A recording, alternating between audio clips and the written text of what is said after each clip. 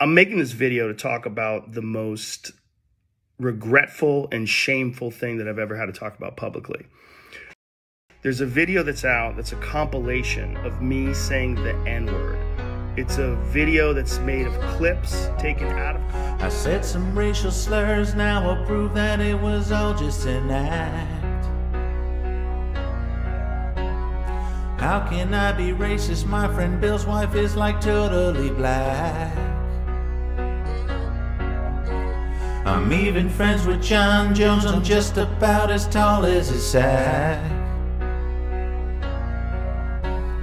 Just as Dave Chappelle, we've been friends since he's been smoking crack. But Joe, it's too late to apologize. It's too late. It's too late to apologize. It's too Also, Joe, this isn't the only apology you owe us.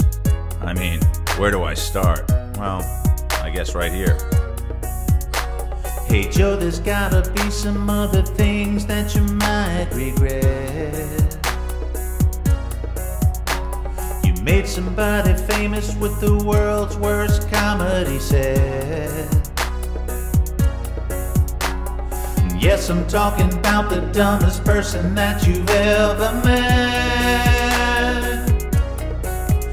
Must have known your darkest secrets, or did you just lose the world's dumbest bet? So Joe, it's too late to apologize. It's too late. It's too late to apologize. It's too late.